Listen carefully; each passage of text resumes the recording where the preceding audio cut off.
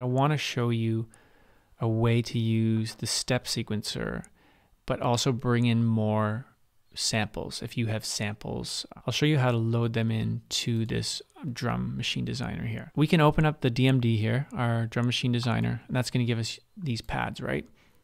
And we can scroll to the right here, and you see all these empty slots. There's even some empty slots on the second page. We can drag in samples here. So that's one way to do it. We can also just start an empty drum machine designer and start from, from scratch. Why don't we do that? So I'm going to open up a new software instrument track and I'm going to go down to drum machine designer. And now I have an empty drum machine designer and all these empty pads.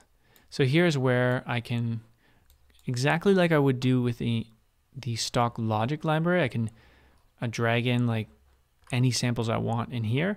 I'm just going to do the same thing with my own samples that I got from the internet. So I'll show you how to do that. Let's just close down the library by pressing Y and we'll move this over here and we'll press F and that will open up our file browser on the right side. So you can kind of think of it like right side is the stuff you have in your computer and then the left side there the library is like stuff that's available in logic so this is just like a finder window um, you can go home and go to anywhere where your samples are located. Here's some kick samples and i'll just go to the kicks. Choose one you like so you can scroll through them. Okay choose one you like drag it in put it on a pad. And now we have the signal here. We can change the root key. We can also change how the signal is treated. Um, there's lots of stuff we could do. We'll get into in a second. But the, the idea is you can just bring any old samples you have on your computer and drag them in here. And then we can edit them inside this sampler.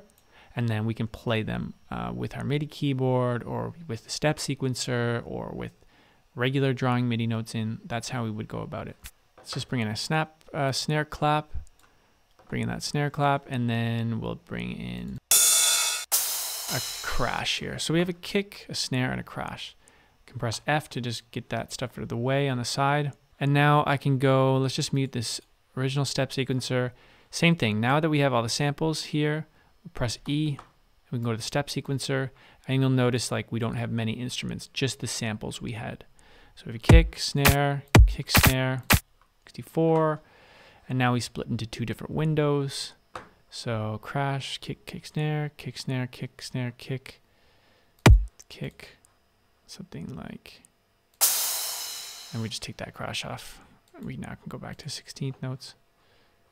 The idea is if we want to bring more samples in, we just open our drum machine designer, drag in the samples in, and here is where we would want to edit the root key. So if our song is in C sharp, we'd want to make sure we root note these to C sharp. So we got the clap in C sharp.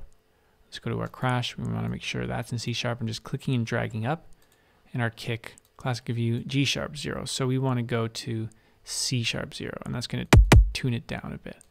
And so that's important to have your instruments in key, and you can do that within the drum machine designer. If you add a new element in, crash in for example, Okay, add the new crash in. Let's tune it up down to C sharp.